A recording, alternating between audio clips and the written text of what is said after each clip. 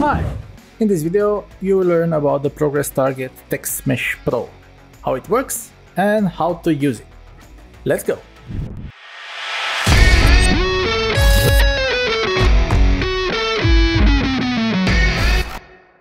If you haven't watched the Progress Target text video, I suggest you do that now because it's almost 99% the same as this one, but we use a Text Mesh Pro component unlike that one. And I'm gonna go really quick through this because it's quite easy. The Progress Target Text Mesh Pro updates the text value of a Text Mesh Pro component. So uh, let's create a Text Mesh Pro component. And here I'll call it Progress Text because we're updating the, we're showing a value from a progressor. So let's add a component, progress target text mesh pro. It automatically de detects this, um, this script and references it. And it updates the target variable progress. And let's use the multiplier and you'll see in a second why I did that. I'm gonna make this a bit bigger. Let's say like so. And uh, let's enter the text. Let's make it a bit bigger. And now we need a progressor. Let's create one. So let's create one here, doozy progress progressor, because the progress target is meant for the progressor. Let's add a progress target text, this text, and believe it or not, this works. That's it. Let's say minimum value minus 100, maximum value 250. So we can go from a minus to a maximum value and have the progress where exactly we are on that bar. Let's say I do not want to see the progress value, but I want to see the value itself. So how do I do that? Well, you just come back here and you disable multiplier, disable whole numbers, and select value. And of course, remove this percentage because it's useless in this, uh, in this situation. And now check it out it shows you the value. Okay, I want to see whole numbers because I do not like it the way it looks. Just uh, see whole numbers and let's update it. Yeah, that's it.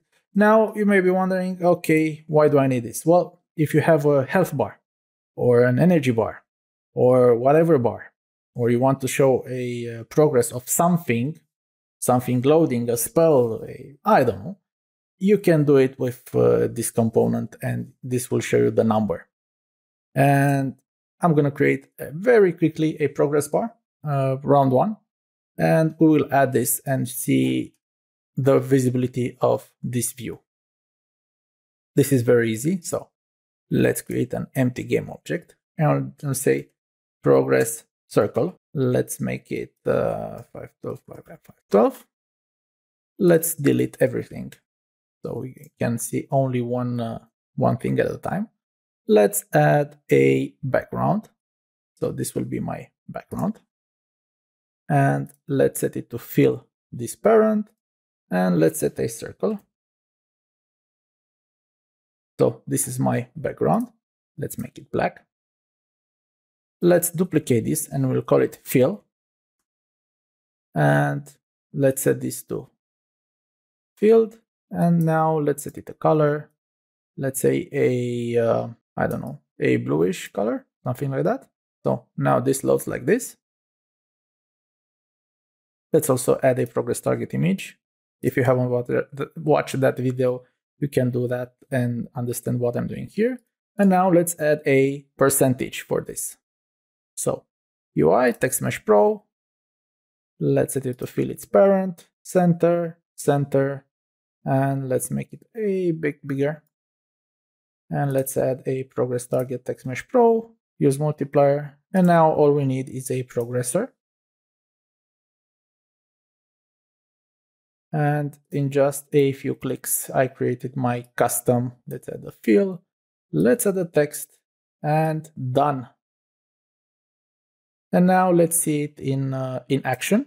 Let's select uh, this ui view and let's use this as the progressor. Also update on hide. And that's it. Now this will work. There you go. Let's uh, maximize. So when we'll hide it, this will go to zero. And let's show it. Note that this is happening as uh, by taking into account the animation duration. So what do I mean by that? Well, uh, let me show you. Let's set the animation for 5 seconds, the show animation, and let's set the hide animation for um, 2 seconds. And let's maximize. So 2 seconds for hide, 5 seconds to show. So this was 2 seconds. And let's go for, for 5 seconds. And now this can be this can be a health bar or whatever you need it to be. Of course, uh, if you do not want to show the progress, again, you can show the value. So let's say show me the value, do not use a multiplier. I don't care about this. And I'm going to leave whole numbers. And let's see the value is, is between 0 and 1. Let's say between 0 and 100.